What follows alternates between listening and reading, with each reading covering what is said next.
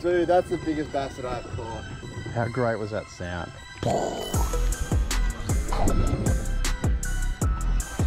Let's hear for him with his 10 pound sim handed that trophy off. Let's get a picture. I'm gonna get off the stage. Oh, buddy.